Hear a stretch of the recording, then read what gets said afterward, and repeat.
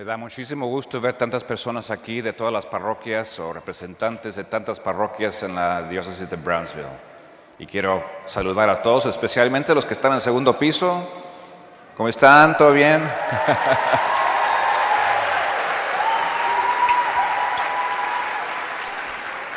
It's such a great joy to see so many representatives of the parishes throughout the diocese, the four counties of the great and beautiful Rio Grande Valley.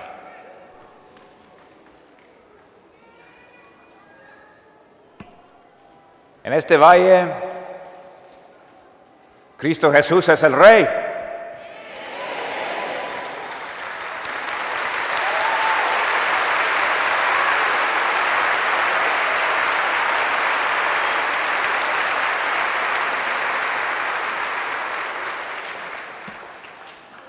La Virgen nuestra Madre.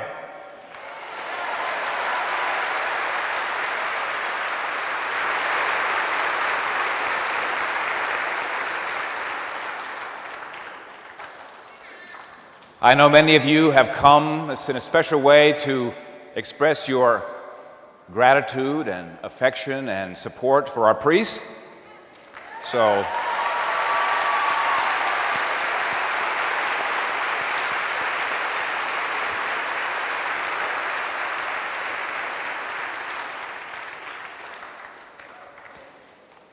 as we journey together in this life of faith that the Lord gives to us as a gift, a gift to share with one another.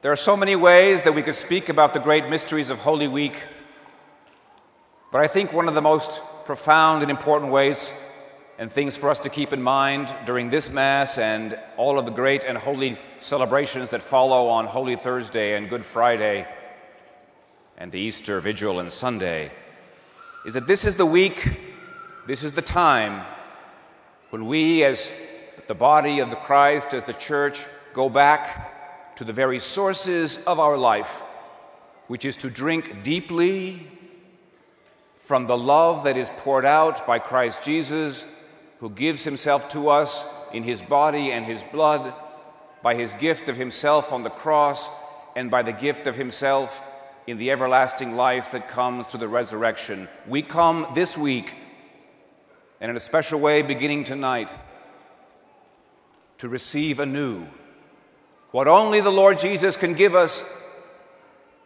which is the strength, the healing, the life that allows us to share with Him that anointing which comes from the Spirit.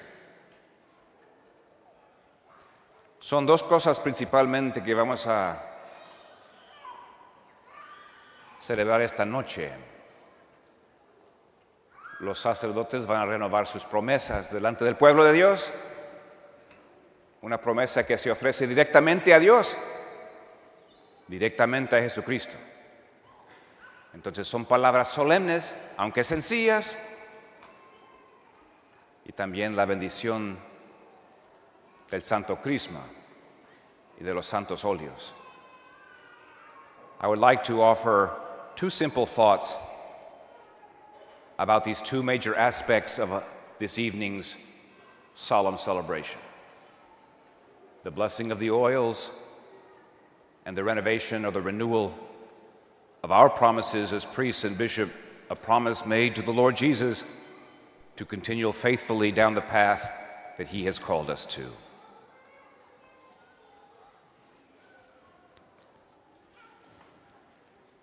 To be a member of the church is itself a great mystery because it's not just about choosing to be in the company of certain people. It's not just about seeking out the company of those who share our tastes or our perspective.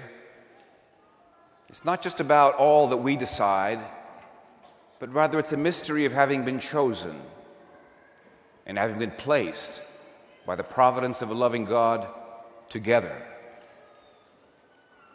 Because the great mystery that pulls us into the body of Christ, which is the church, is the mystery of what we hold in common.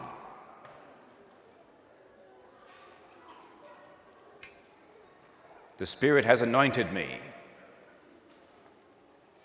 the prophet Isaiah said.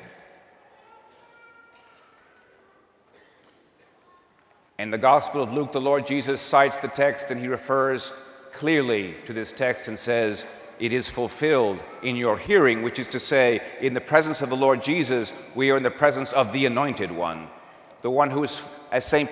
John says, full of grace and truth. ¿De qué se trata la unción del Señor Jesús? Sino que está lleno de la plenitud, de la gracia y la verdad de Dios.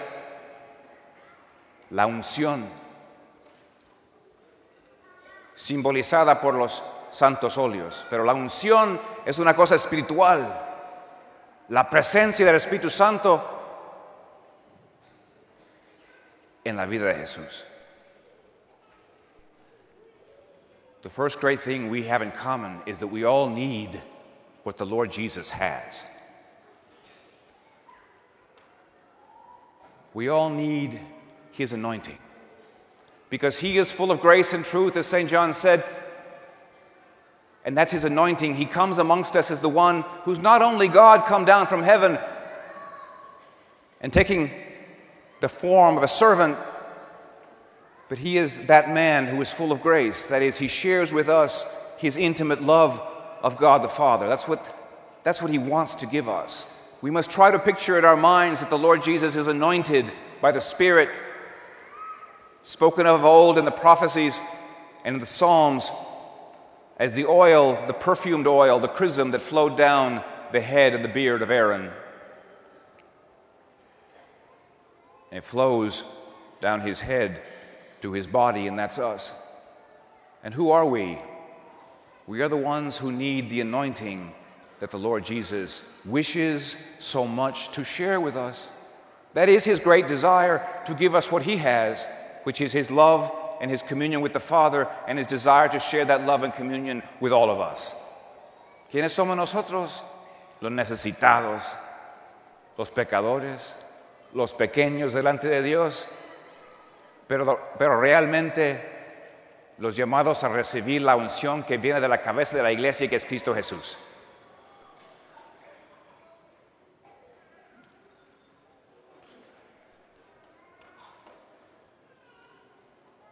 This oil that anoints the head of Jesus, which is the Holy Spirit, and flows down onto his body, the church. In Christ Jesus, it is the sign of his kingship and of his messiahship and of his high priesthood. But when it flows down to us, it adapts itself to what we need. The oil that comes from the head of Christ and flows into the church gives specific gifts to each member of the church, each member of his body. And so sometimes the oil touches us, the oil that flows from the anointing of Christ Jesus onto us, sometimes it touches us as an oil that heals, because that's what we need. And so we will celebrate tonight the blessing of the oil of the sick, which our priests will use to bring that special grace that comes from the Holy Spirit, which comes from the Lord Jesus that special touch of healing to console the sick, to give them spiritual strength, and to give their families the sure and confident hope that the Lord Jesus and His anointing is with those whom we love and yet who suffer. And sometimes this oil comes and it's a purifying oil. Sometimes we are in need of purification because we must never forget the Holy Spirit, too, is a flame, and the flame purifies. And that's why we bless the oil of catechumens, which purifies those preparing for baptism and which helps them to grow strong in the faith and in the hope and in the love we have received from this great high priest and King who is Christ Jesus, anointed by the Holy Spirit. And if sometimes this oil touches the church, touches you, touches me as an oil that heals or an oil that purifies, it's always aimed to make us strong in Christ. So it must be an oil that also touches us to confirm us in the faith. and hence the oil of chrism will be blessed. And not only will this oil be used to confirm adults and young people throughout the diocese, to give them that special mission that comes from this great sacrament, but also it will be used to render strong those men who present themselves for ordination to the priesthood. It is an anointing. And it all flows from the anointing that Christ Jesus speaks about in tonight's gospel the Holy Spirit that fills the human heart of Jesus and that anointing which he wishes to give to us. But let us never forget that the first great thing that we all hold in common it's not what language we speak, it's not where we were born, it's not what we like to eat for dinner. It is we all need the anointing that comes from the Lord Jesus. He is the one who pulls us together, and He is the one who purifies, heals, and strengthens.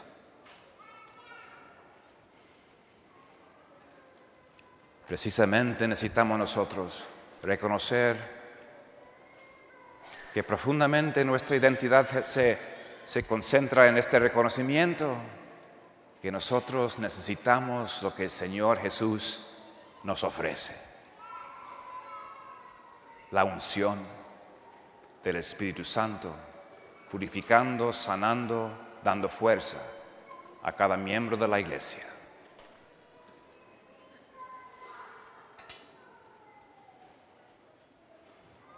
But there is a second thing, and I only have two. Los padres dicen, uh, gracias a Dios.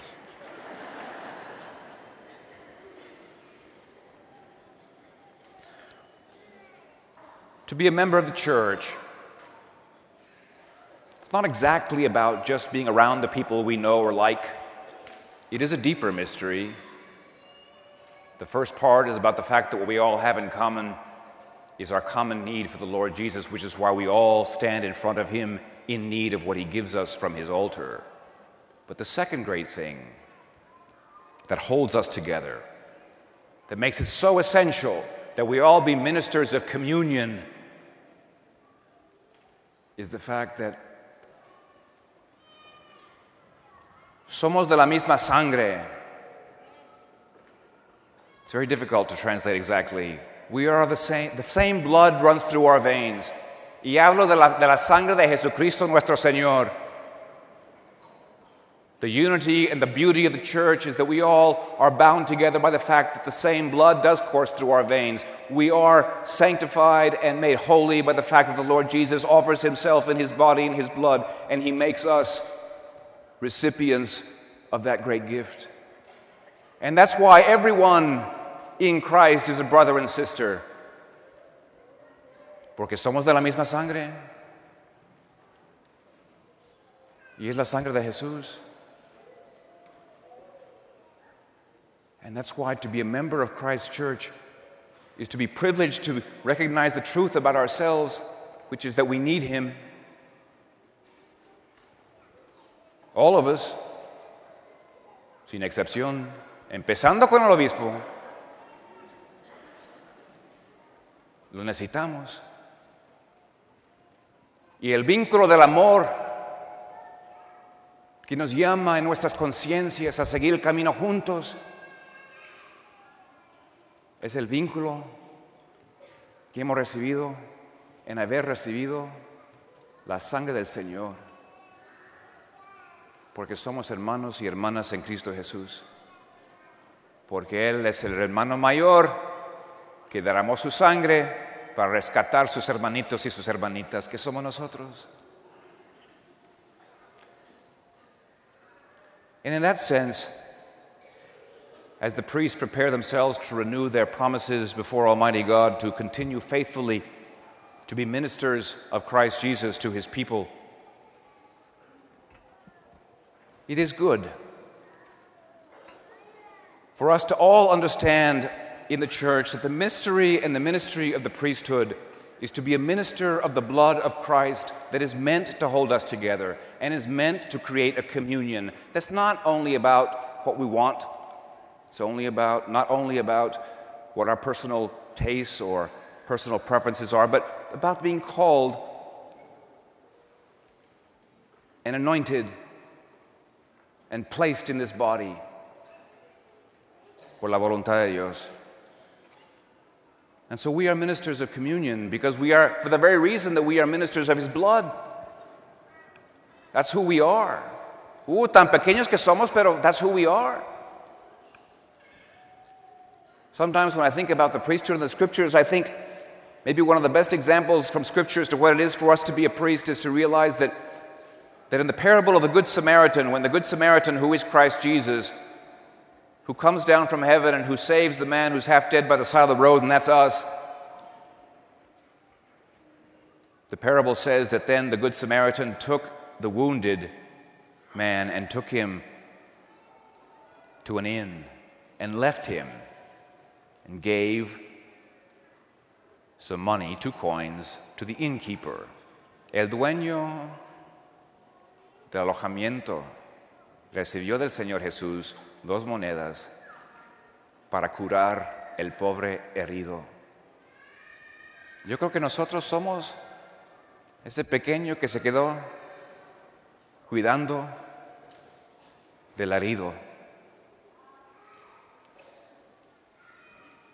que en las escrituras ni tiene nombre,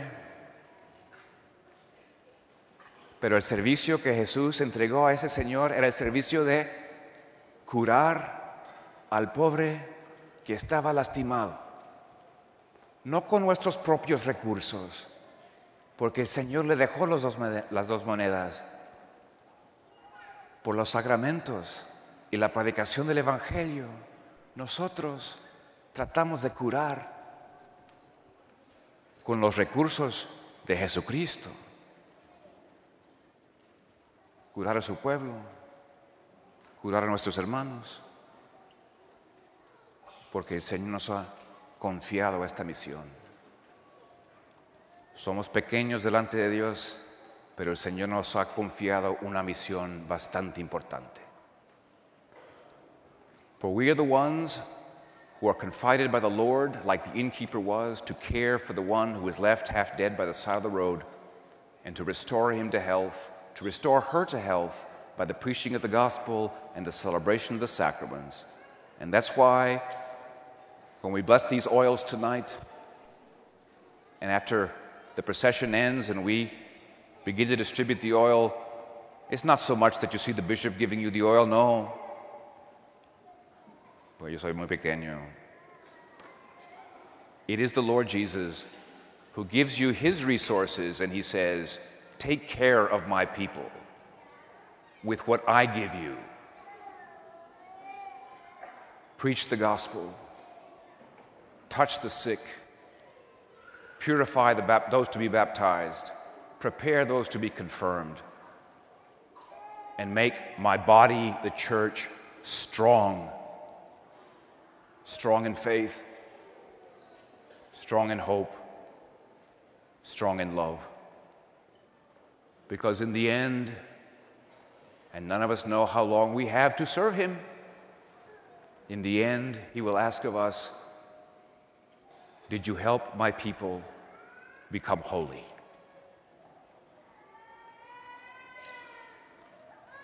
And we are his servants. And tonight, as we draw close to the source of our strength, we say, Lord, help us to make your people holy. Not on account of our resources, but because of that anointing which you share with us and we share with those in need. Que Dios, que Dios siga bendiciendo a todas nuestras parroquias, todos nuestros filigreses, todos nuestros sacerdotes. Y que el Señor Dios levante de nuestras familias más sacerdotes para seguir este camino como servidores de Jesucristo, nuestro Señor. Amén.